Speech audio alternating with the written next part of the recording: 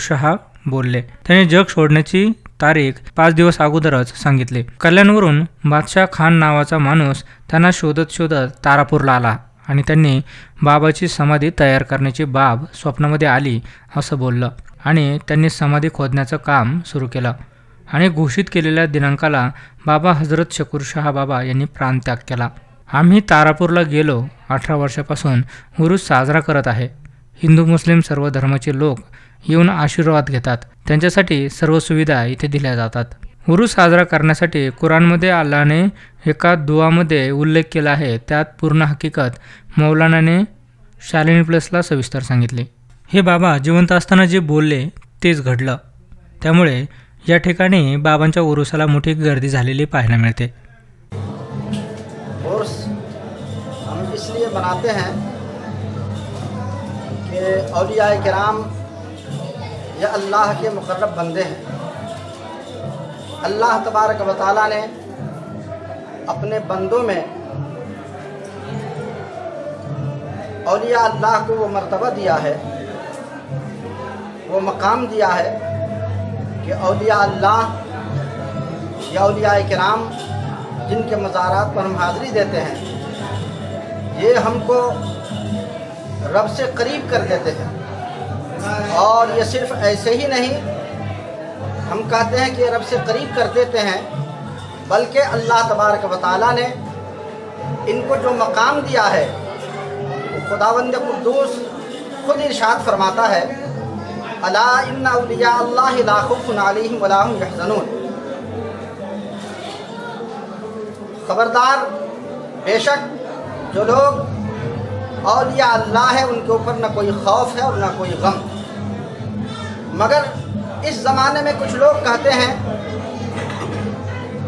کہ عرص نہیں منانا چاہیے اور یہ غلط ہے، مگر وہ لوگ قرآن و حدیث سے بالکل بے خبر ہیں اور یا تو قرآن و حدیث جان کر کے قوم کو گمراہ کر رہے ہیں۔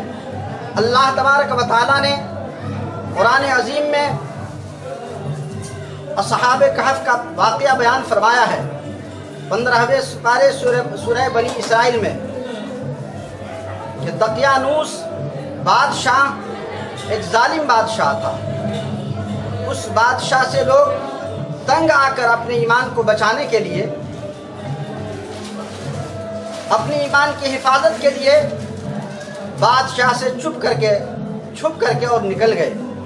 اور وہ لوگ ایک غار میں جا کر کے سو گئے۔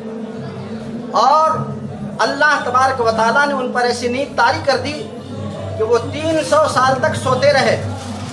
اور یہ سب قرآن عظیم میں، سورہ بنی اصحاب کہف میں اس کا قرآن، سورہ بنی اسرائیل میں اس کا ذکر آیا ہے۔ اور اللہ تبارک و تعالیٰ نے تین سو سال تک اس کو سلائے رکھا اور تین سو سال کے بعد پھر زندہ فرمایا۔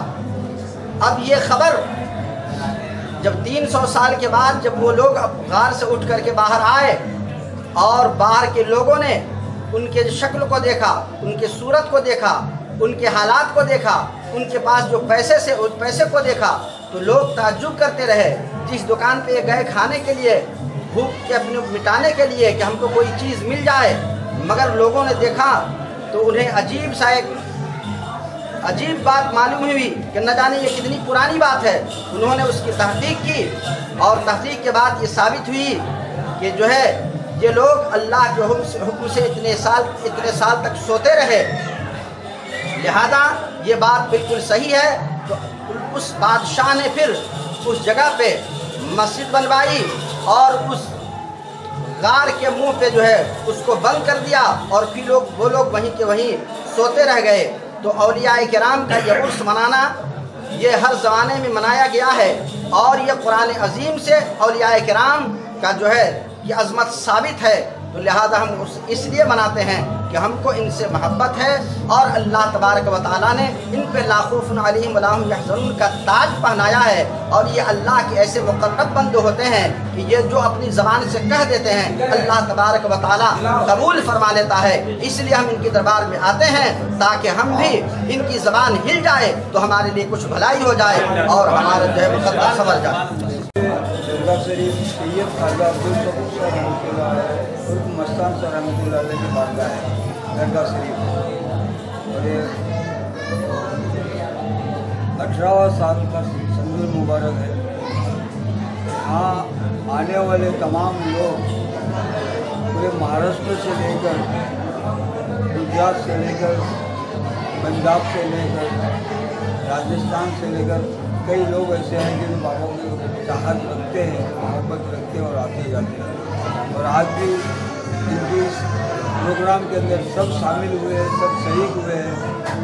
اور ان لوگ بڑی محبت رکھتے ہیں، جتنے بھی دنیا کے اندر کاٹ کے ہر کاٹ سے آنے والا لوگ، بابا جی کے بہت محبت رکھنے والوں میں سے لوگ ہیں۔ اور یہاں کوئی ایسا یہ نہیں ہے کہ جیسے کہ مسلم ہے، ہر سماج کے لوگ یہاں پر ہیں۔ یہاں پر یہی یہ بھی سمجھا جاتا ہے کہ ہم تمام بھارت کے رہنے والے آپس میں اتباع کو محبت سے چرچا و میں رکھتے ہیں۔ اور اسی طرح سے ان کا عرس مبارک بھی قائم ہوتا ہے۔ اور آنے والے تمام زائرین کے لیے بھی جیسے کہ بھنڈارا بنتا ہے تو ہر سماج کے لیے الگ الگ بناتا ہوں۔